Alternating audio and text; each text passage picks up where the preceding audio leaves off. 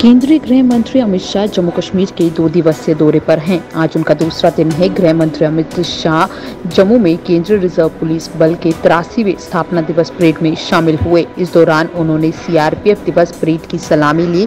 इस अवसर पर जम्मू कश्मीर के उपराज्यपाल Manoj Sinha, MOS Jitendra Singh, DGP Dilbag Singh, BSF DG Pankaj Singh, IB निदेशक फारूक खान, गृह सचिव ए के बल्ला उपस्थित रहे। गृह मंत्री अमित शाह ने स्थापना दिवस परेड के दौरान राष्ट्र की सेवा में सर्वोच्च बलिदान देने वाले सुरक्षा कर्मियों को भी सम्मानित किया। गृह मंत्री ने अपने भाषण की शुरुआत माता वैष्णो देवी को नमन करते हुए की और साथ ही उन्होंने देश की सेवा में अपने प्राणों की आहुति देने वाले वीर जवानों को श्रद्धांजलि अर्पित की। उन्होंने कहा कि जम्मू वो धरती है जहाँ श्यामा प्रसाद मुखर्जी और प्रेमनाथ डोगरा ने देश के बाकी हिस्सों के साथ साथ जम्मू कश्मीर के पूर्ण एकीकरण के लिए लड़ाई लड़ी थी।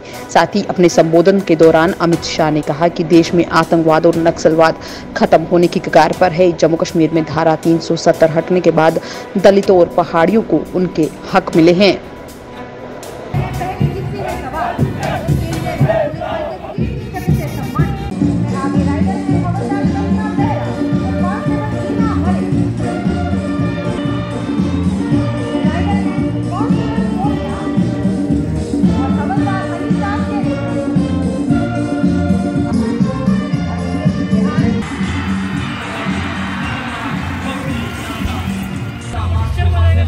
Garcia, Team Buck Peace, Miss Girana.